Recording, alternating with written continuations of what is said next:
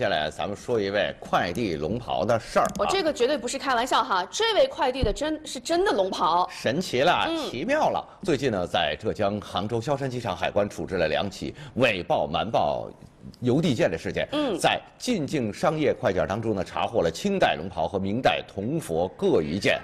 这个是走私哈，就是多亏了我们的海关检查人员的细心检查。当天呢，现场的这个海关的官员呢，这个人员呢，在对两批商业快件进行核检的时候，发现申报价值仅为三百八十一元和一百六十九元的快件，在过安检机 X 光机的时候，图像异常。进境商业快件申报信息显示是这样的：这两件入关的物品呢，分别登记为棉质刺绣女装上衣和铜摆件。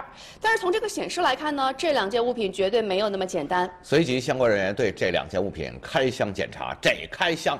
不得了了！居然发现这两样物品都属于文物，一件是龙袍，一件是铜佛像，根本与实际申报的是不符的。后来呢，经过专业机构鉴定，这两件文物呢，分别是属于清代和明代。那其中龙袍呢，估价是在十五万元；明代佛像的估价是三万元。目前这两起事件正在进一步的处理当中。走私文物、伪报瞒报，还要鱼目混珠，绝不能给这些人机会。